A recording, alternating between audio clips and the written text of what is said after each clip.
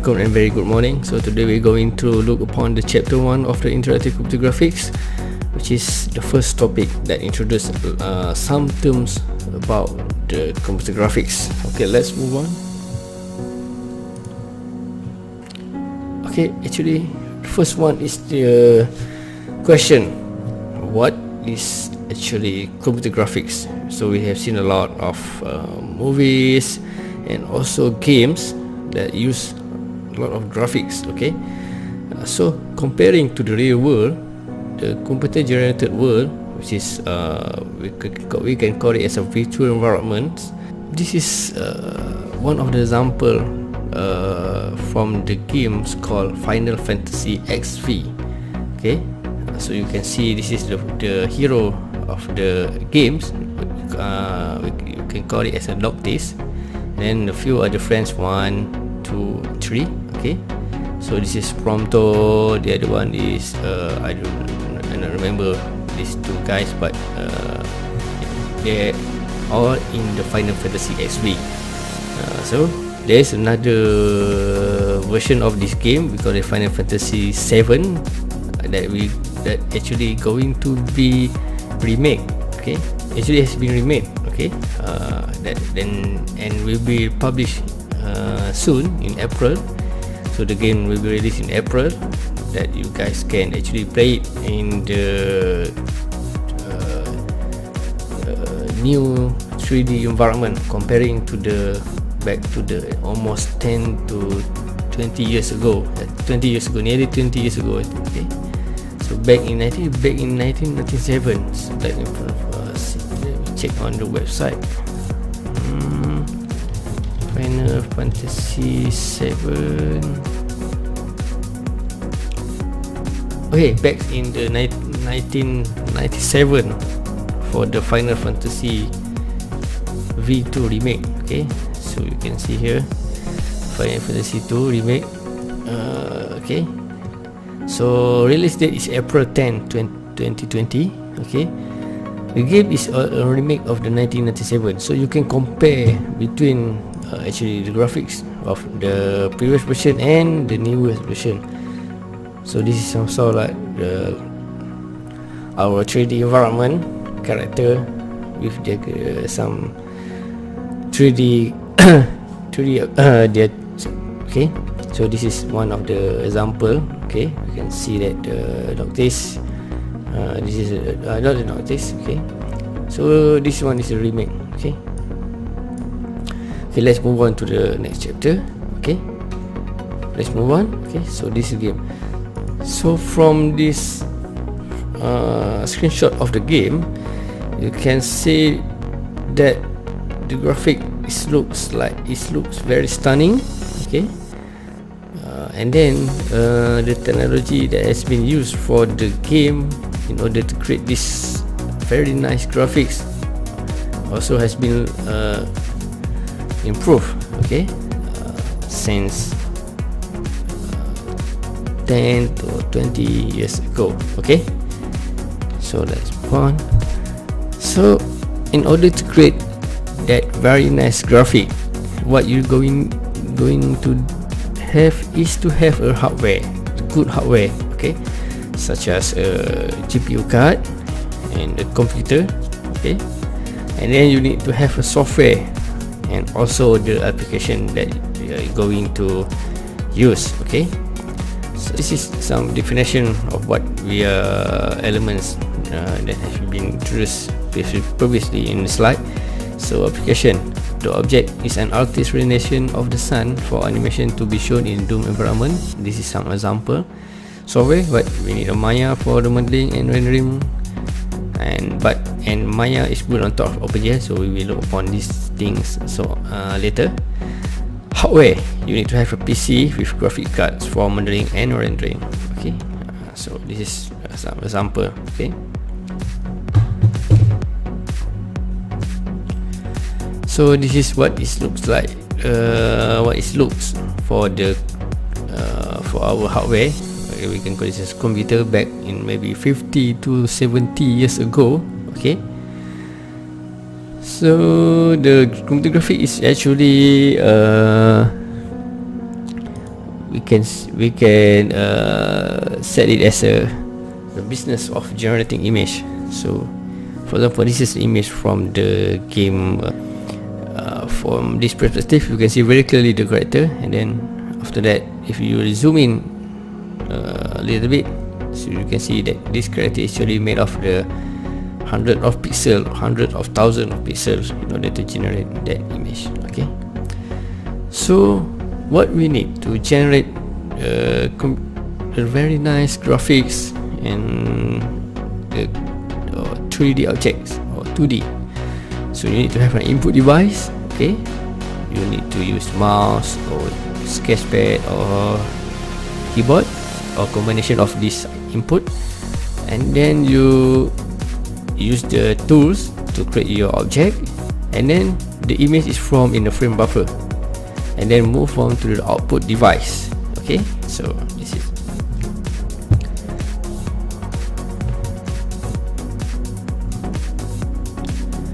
so this is some compulsory read about the uh, elements of the computer graphics.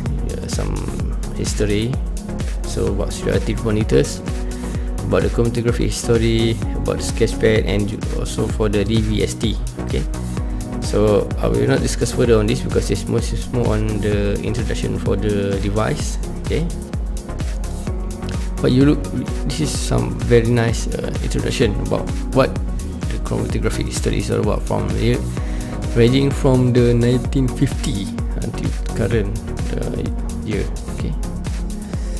So actually so in order to go to in order to actually work on the computer graphics what you need to do and what you're going to need and use is, is either workstation or a gaming PC okay. So actually you guys can actually use your lap on laptop okay to generate a simple uh, nice graphics okay. Before we going further we're going to look on the raster and vector graphics okay. So for example raster is made of the pixel while the vector is not made on the pixel okay. Uh, so for the vector it using some mathematical equation to generate the image while the raster image is based on the pixel so that's why there's a big difference between the raster and vector. So for vector you create the image or you modify or you illustrate it using for example using Ad Adobe Illustrator. But for the raster you use uh, Photoshop okay to edit the image, text and so on okay so let's look on the few topics on the computer graphics so the first one is image formation. For in order to in order for the image to be displayed on the screen so you need to have these basic three elements okay? So the first one is the objects. The second one is the viewer. And the third one is the light source okay? So if we lose uh, or we if we uh, don't have any of these three elements so image cannot be performed. So you need to have an object. In order to display something you need to have object. For the viewer you need to, to have someone that you someone or something that going to view that object and then the light source. If there no, if there is no light source so it's become it's, it's so it's dark. So you cannot view anything. And then we look on the, since we mentioned about the light light sources. So what is, is, is what is actually the light? Okay light is electromagnetic electromagnetic wave okay? So this is okay this is a clear version of the uh, what this light is all about. So so this is visible spectrum that uh, actually uh, light uh, uh, is visible for human eye okay? So it exists between these things okay? Again the, the second one is, is what is the ray tracing? Okay. So so ray tracing is a rendering technique that can produce an incredibly realistic lighting effects okay? So essentially an algorithm that actually can trace the path of the light and then simulate the way that the light interact with the virtual object. It automatically hits in the computer generated world. So actually okay look at example of this image. Of course there is not much difference between these two images but if you look closely the the right one okay the right one is actually have the proper visual and graphics comparing to the left one. So for example we have a camera we have an image this is light source okay. So in order to generate it into the real world. So what we going need going to need in order to actually produce a very realistic image okay? So this is the link uh, for you to follow and also learn about very interesting uh, a little bit more okay? So next one is the image attributes okay? First one is the luminance actually what is a luminance okay? So luminance is some sort of like uh, what is our eyes seeing the object. Is it is it bright or not okay? So you can see the different uh, for this one okay? This is luminous. This is illuminous so luminous is some sort like what gets into your eyes our eye okay? How the the object looks on our eye when it uh, reflects from the light source okay? Uh, so this is some, some definition. So luminous is what we measure of of the surface that has light hitting it. So there's a uh, some sort of light okay? Hit the object and then the object produce something that actually reflect some of the light back to our eyes so luminance is the measurement of the product of the incident light and the surface. Anything that is reflected okay? So anything reflected back to our eyes okay? So luminance is also considered the human perception of brightness or how bright we perceive the light that is reflected off of the surface okay? So luminance and illuminance. so this is some uh, this is the opposite of this okay? Okay next one is the color image color image represented by the hue saturation and also the lightness. Okay. This is some example of the color image. So they have for example we have there is a primary color yellow red and blue. It's a combination of it. Okay. Green and red uh, uh, sorry. Yellow and red produce uh, orange. Okay. And then uh, red and blue produce uh, purple yellow and blue produce green and goes and, and it goes uh, to primary to secondary to tertiary and so on okay? And then okay what is our human visual system looks like? Okay so actually they have two sensors in our human eye okay? So the first one is the rods call it sensor. This rods and cones is the sensors in our eyes. So rods is uh, to actually recognize the monochromatic and night vision. So sort like our eyes has a night uh, uh, our own night vision. So okay and then the cones okay.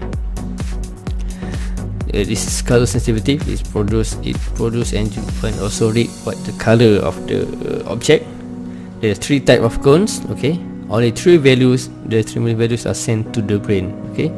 So need only match these three values okay? Which is the three primary colors okay?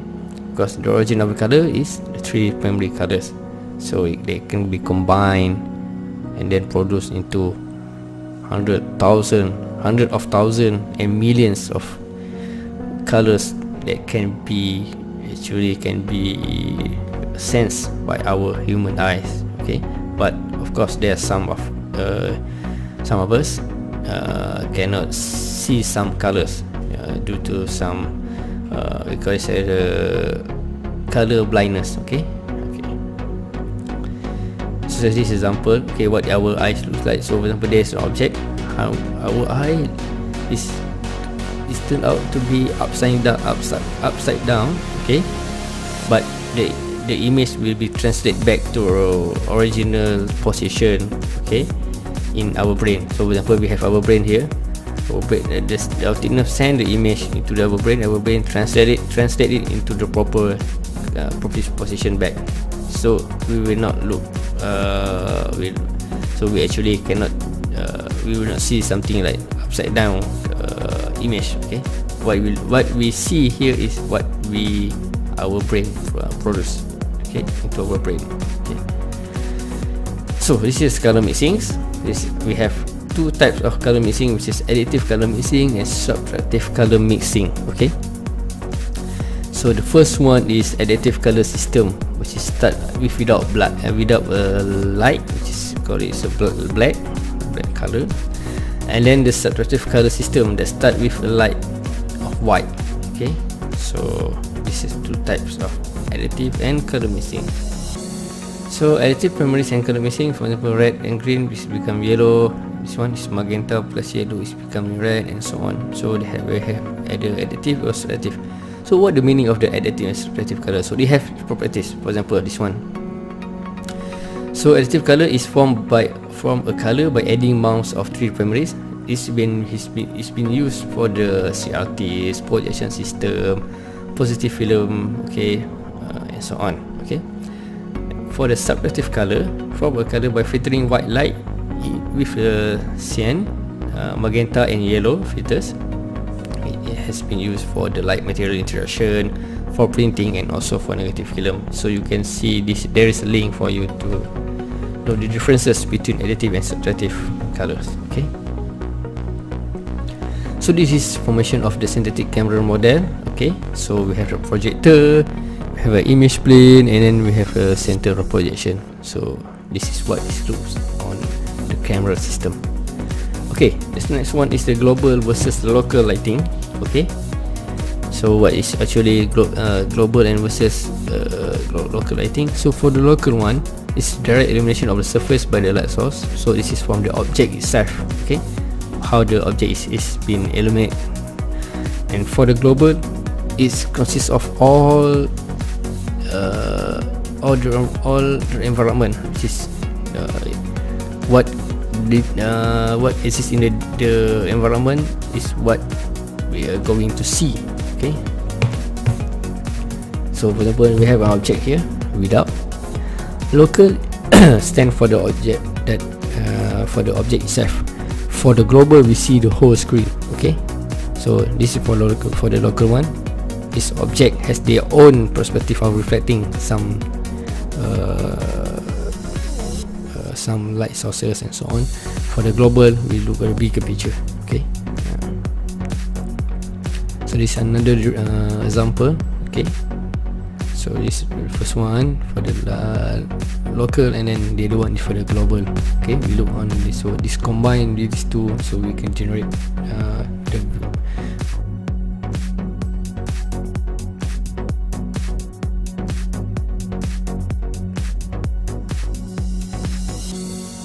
okay welcome back.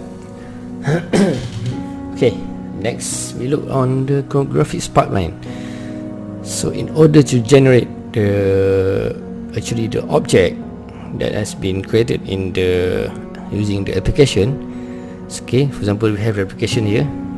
Okay so what it needs in order to be appear in our screen monitor. Okay? Uh, okay so we look this is the graphics pipeline actually there's a lot of graphics pipeline there but this is this is one of the common uh, pipeline. And most of the other pipeline graphics pipeline is also not much difference compared to this one. So let, let's stick for this one for the, our graphics pipeline. Okay the first one is the vertex processing okay? What is actually vertex processing actually? So it is some sort like it's converting the object representation from one coordinate system to another. For example you, you're going to create an object okay? Using uh, using points. From points you create a line. From lines you create a 2d object surface that has surface. For example from using three lines okay? You combine it it becomes a triangle. So from the triangle you combine it it becomes a 3d object okay? So this is some sort of like vertex processing okay? So every change of the coordinate is equivalent to the matrix transformation. So there's uh, some graphics uh, library that we handle all these things okay? What you're going to do for example we're using OpenGL so when by using OpenGL we can command using some specific command that can be uh, put into our uh, our program. And when uh, we do our coding in order to process the vertices, vertices okay? We call it vertices so we have we handle a lot of vertex. Vertex is some sort of point. So in cryptographic world we call it uh, we call uh, each point is as a vertex okay? So this is vertices. Consist uh, so there were one vertex two vertex three vertex okay? And then from the vertex we combine it becomes uh, a line okay? By we com and then we combine again to become a shape that has surface. So we have a surface here okay? Okay? And then the projection okay? Back to the part uh, the into also in the vertex program okay? So projection is process that combine the 3D viewer in the 3D object to produce the 2D image okay so it has uh, for example we have the perspective for the object. Okay we have object in the virtual environment. So how we are going to look from our eyes okay in, uh, into the object okay? So this is uh, for example we, we create the 3d object of the, uh, a simple house okay here. So we need to project how our camera or our eyes will look on the object okay? So it has a lot of type of graphical projections here okay? We have parallel projection we have perspective projection one point two point three point and curvilinear okay? And also for the parallel projection orthographics and also the oblique. Cabinet form cavalier and military. For the orthographic we have multi-view isonometry isometry isometry consists of isometry diametry and trimetry. It's not some, sort like it just look like the same but it's have a points in the architecture world okay? Okay maybe you can uh, ask for your friend that take architecture course to uh, ask for them what is differences between all these things okay? So but in photographic we just use all these term for our projection so details you can search via the uh, by searching on the, on the web okay? Or ask your friend from the architecture world okay? And then the primitive assembly. So once we have done our work that uh, actually we create our work uh, which is our 3d object okay? Let's say we have we are going to uh, use 3D object as example here. So vertices must be collected into the geometric objects before clipping and rasterization can take place. Okay, so it can have a line segment, we have a, can have a polygon, and we can have a curve and also surfaces. So we actually uh, process all these things, assemble it. Okay, and then the clipping. Okay, just as real world camera cannot see the world world the V2 camera also can only part of the world so okay let's say you have a camera you can just take a photo of some of the environment. You cannot see the whole world okay? The see environment. Compared to our eye and camera of course our eye can see as much as our eye can see okay? But the camera can see portion of it okay? So this is what we're going to use in our computer graphic world. So you you must make sure that in our 3D environment or 2D environment we can is some is some sort of like a camera that can be moved around okay? Uh, that's this thing. Okay. So for example we have this object the 2D object here okay? We have the 2D object. And then what meaning of the clip? We clip just some portion of it. This is our camera. Our camera can see all these things okay but what happened to the rest? It's still, it's still there but it's not been displayed in the camera. Okay? Now after we have going to some pipeline next one is the process we call it as the rasterization. So for the object that has been not clipped out meaning that the the object will be put into our screen okay? For example we from this uh, object we can only see this part this area. So we're going to process this area okay? So rasterizer rasterizer produce a set of object uh, set of fragment for the each objects. So fragments are the potential pixel that are going to be produced into our screen. So we have a location in the frame buffer and also have the color and the depth attribute. So meaning we give them uh, properties for them okay and then vertex attributes are interpolated over object by the rasterizer. Okay so raster rasterizer uh, we produce all the attributes here for the next use of the uh, each object that exists in the area or vertex. Okay. Uh, this is another uh, elements of the process. We call this that actually can be re can replace uh, the rasterization okay? We call it a ray tracing. So for example we're going to produce an image here. So let's say this is the object that in the scene but you can imagine that our eyes can only see the object into our 2D monitor okay?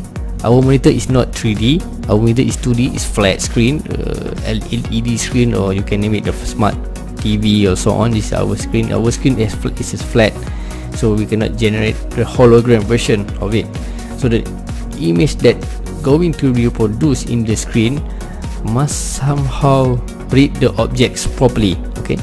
That's why compared to the rasterizer or rasterization ray tracing produce a lot of detail okay? Uh, so we have a light source we have a view ray we have a shadow ray so each of the object reflect from the light source is going to be bounce back into the into the screen our screen. So we can see each depth the, the, the, depth of the objects properly the shadow of the objects properly in our screen. So it's some sort like it's bring the it's, it's, it's like that we actually been into the place okay? Uh, that's that's the power of the our human eyes okay? Our our human eyes can see a lot of things in the uh, in the screen okay? So the next one is the fragment processing okay? Uh, this is fragment processing okay? Uh, this is one another pipeline uh, but it also looks the same vertex processing primitive processing or rasterization fragment processing and then the pixel processing and so on okay so fragments are processed to determine the color of the corresponding pixel in the frame buffer. Okay uh, see this meaning of it. So you give the color to the object. Okay uh, or the pixel. Okay so because we has actually uh, actually uh, actually map the objects into pixels. So we can we need to to give the object the color based on the description that we have created before. Okay color can be determined either by texture mapping or the interpolation of the vertex color either way. So fragments can be blocked by other fragment closer to the camera. We can use uh, some sort of technique called is uh, called called as the hidden surface remover and there's lots more technique that can be used. Okay and then some can be actually can be filter or blocked by using the graphics library itself. Okay. Okay next one. This is uh, fragment processing. Okay for example we don't have a uh, color yet for the object or the for the vertex. So when we process we give a color same thing here okay? This is some example of the fragment stage. So the next one is the programmer interface. So programmer sees the graphic system to the software interface the application programmer which is the API okay?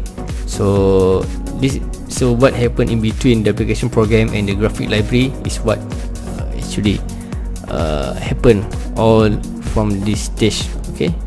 Uh, so graphic library will process and give it to the hardware and then produce into the output of the CRT so some sort like the uh, input go to the hardware to the API to the application program and then back to the API goes back to the hardware and then produce the output into our CRT monitor or our uh, flat screen or our LED monitor okay? So what is actually the API okay? OpenGL is one of the API okay? So what we need to form the image is we need to have an object we have need to have viewer we have we need to have the light source and we need to have the materials okay? So but actually the basic thing is we need to have only three element objects viewer and the light source. But material is to give the objects some sort like the real world uh, uh, properties okay? Because in our world of course we have a lot of color we have a lot of texture and so on okay? Other information we need to have an input from devices okay? The graphic library must be can be hand, must uh, or can handle input from the mouse keyboard and so on and the quality of the system. So most APIs support a limited set of primitive include points we can create line polygons some curves and surfaces so on so all are defined through location in space or vertices. Okay. All exist from the vertices. Okay. Uh, so from the vertices we can create lines we can create polygon we can create curve and surfaces okay. This is four types. Uh, four uh, it's not the four types. It's, so this is the four graphics API okay. Uh, this one is a metal from Apple. Okay. Still new from the 2014 I think and then the also quite new which is uh, from the same group that uh, create the OpenGL okay? And then the DirectX okay? Uh, so this API that can be used for your design and our graphic system okay?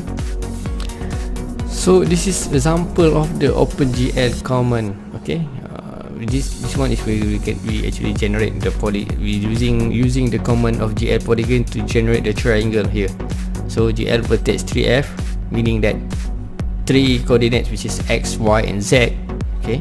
So this is this is a 3d uh, polygon but uh, uh, but using a 2d uh, object okay? Triangle is 2d object but use all the three uh, properties of the x y z okay? Then this one is uh, one of the example of using GPU base so, so you put geometry data in array send array to GPU tell GPU to render inside a triangle okay? So all this all this all this command is like uh, is, is just the same okay? Uh, so we generate the the first basic uh, object okay okay lights and materials. So make sure the API some like uh, have uh, point sources versus distributed sources. Spotlight thin and far sources color properties. And also it must also can have material properties absorption okay scattering diffuse and specular for the OpenGL uh, so it has all these things okay. You just can call it using some simple command okay and then put it into your code okay. so this is very important element in in uh, our uh, graphics API okay?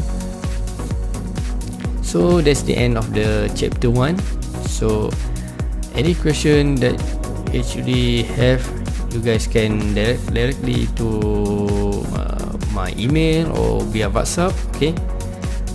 But if you have uh, if, if you want to have uh, some uh, other information or other clarification about some of the topic here.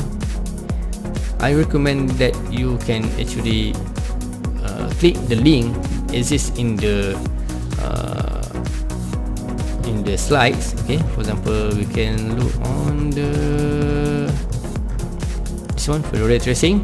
Uh, you can click this link okay? To actually learn more about the ray tracing okay?